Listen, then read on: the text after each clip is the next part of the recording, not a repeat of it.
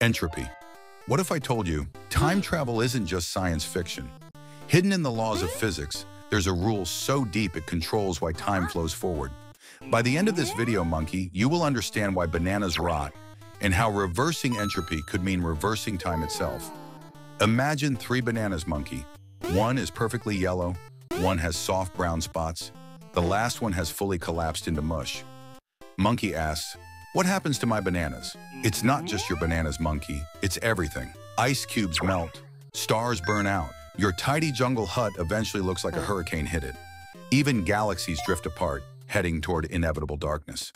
All of it is ruled by one invisible principle, entropy.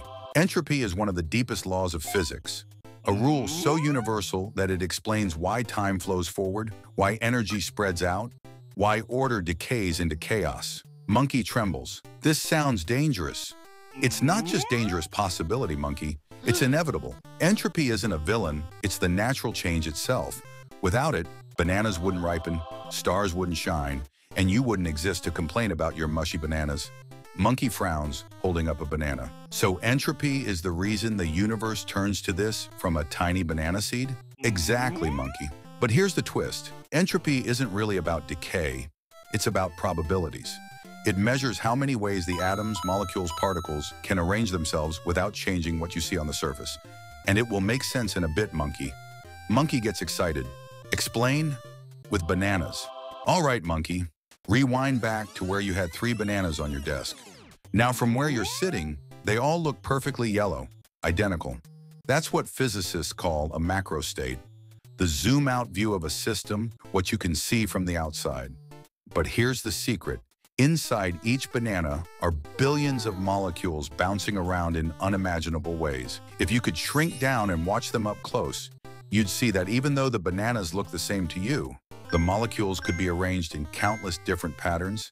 And do you see those microscopic patterns, Monkey? That's microstate. Monkey understands. So macrostate equals I see three yellow bananas. Microstate equals every atom, molecule, and sugar crystal inside, separately moving. Exactly, Monkey. Entropy measures the number of probable microstates that fit the macrostate you see.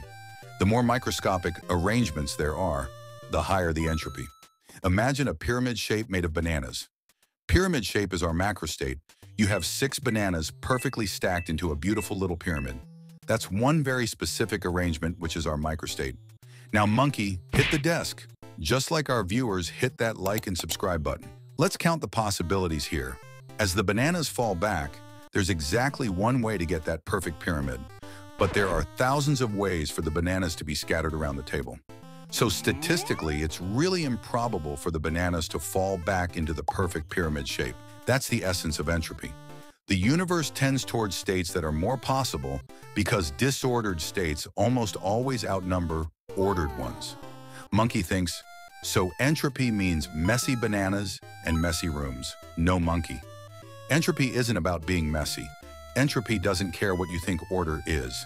It only cares about the number of microstates behind the scene. Monkey gets excited.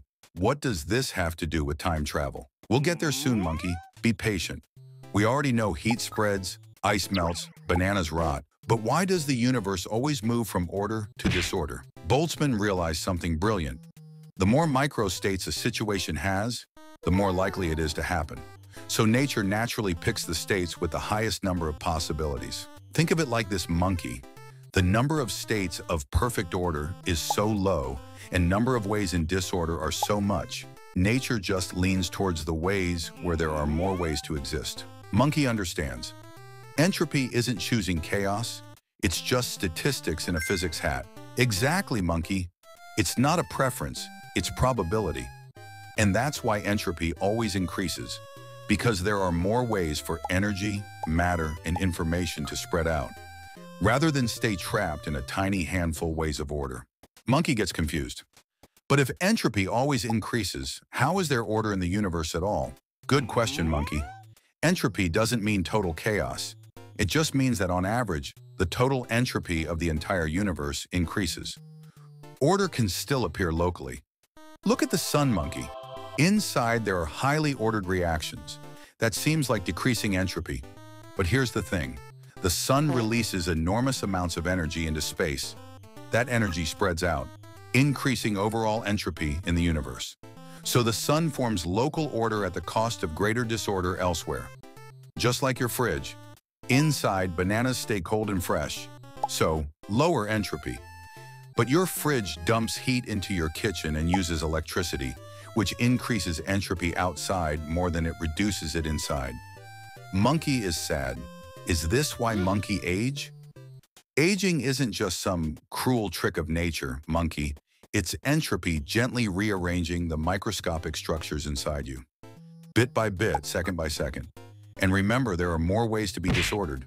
So you can slow it down locally with healthy life choices, fridges for bananas, air conditioning for smoothies. But you can't reverse it globally. The total entropy of the universe always goes up. Monkey looks at his aging reflection. So I can't go back, but I can still enjoy what I have right now? Exactly, Monkey. Entropy takes away the past, but it also gives us the present. Monkey wishes everyone to leave a banana in the comments so he can enjoy them before entropy strikes again. Monkey asks, so entropy rising is why bananas hmm. rot and pyramids fall? But what about time? Entropy doesn't just explain why bananas rot. It explains why time moves forward. Think about it. Yesterday, your bananas were yellow. Today, they're spotted and soft. Tomorrow, they'll be brown mush. Entropy is the reason we experience a past and a future. Without it, there'd be no before or after. Time is just entropy increasing. If somehow all entropy in the universe decreased, time would feel like it was slowing down, maybe even running backward. Monkey understands. So entropy is literally time? Exactly, Monkey. The two are inseparable. If entropy makes time flow forward, then if I reverse entropy, I can reverse time. Well, monkey, entropy doesn't forbid things from becoming ordered again. It's just absurdly improbable. Imagine trying to unrot a banana. Every single molecule would need to reverse its motion perfectly at the same time. For one banana, that's about 10 to the 25th power molecules. The odds of that happening randomly? Like flipping 10 to the 25th power coins and getting all heads every single second since the beginning of the universe. Monkey is sad. So you're saying my banana isn't coming back? Exactly, mm-hmm. Monkey. At least not in this universe. But here's the twist.